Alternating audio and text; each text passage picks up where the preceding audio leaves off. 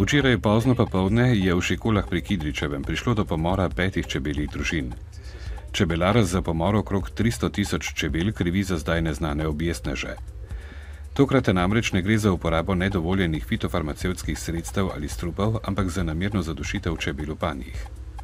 Kraj dogodka so si že včeraj ogledali policisti, čebelarje pa bolj kot nastala škoda skrbi dejstvo, da se objestneži vedno pogosteje lotevajo čebel ki pa so v naravi za oplojevanje rastlin izjemnega pomena. Rad bi predvsem prosil vse, ki bi karkoli vedeli, ki bi kakorkoli lahko pripeljali na sled eh, storilcu, eh,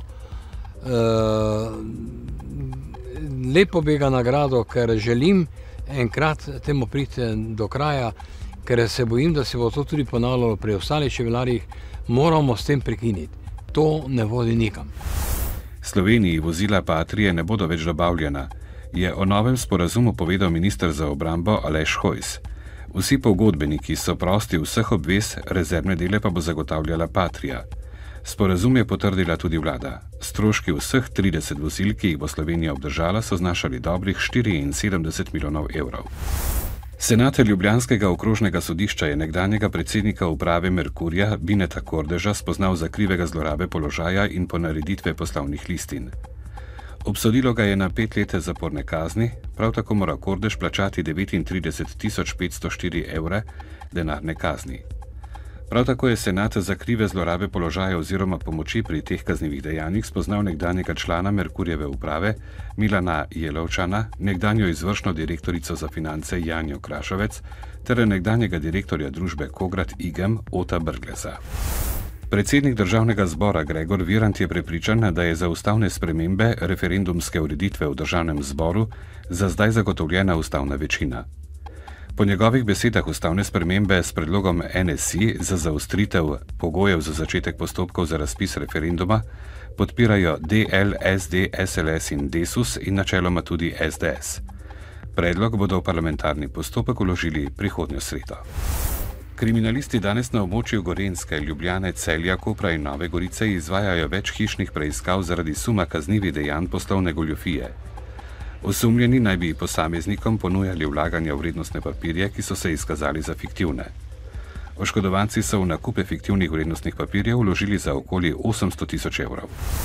Slovenija je na letošnji lestvici globalne konkurenčnosti pridobila eno mesto. Med 144 državami se je uvrstila na 56. mesto. V poročilu Svetovnega gospodarskega foruma je najslabše ocene dobila za učinkovitost trga dela in razvitost finančnega trga. Med članicami Unije so za Slovenijo Cipr, Mačarska, Bolgarija, Slovaška, Romunija in Grčija. Časnik delo piše, da Petr Štelcer, katerega domnevni oče je kardinal Franz Rode, testa DNK ne želi opraviti v Sloveniji, temveč bo predlagal naj testi izvedejo v drugi državi. Časnik tudi poroča, da naj bi po besedah sorodnikov Štelcerjevih kardinalu Rodetu uspelo navezati stik s Petrovo materijo. V pogovoru naj bi Petra označil za slabega sina, vsej družini pa zagrozil s policijo. Rodetova odvetnica Klemenčič Zidarjeva je navedbe demantirala. Jutri bo na primorskem delno jasno in po večini soho, pihala bo šipka burja. Drugod bo sprva pretežno oblačno s krajnimi padavinami, popovdne se bo pričelo jasniti. V petek in soboto bo pretežno jasno, zjutraj bo ponekod po nižinah magla. V dnevniku televizije Maribor ne zamudite. Upokojenci šestih domov so se pomirili v košarki, pikadu, ruskem kegljanju ter bowlingu.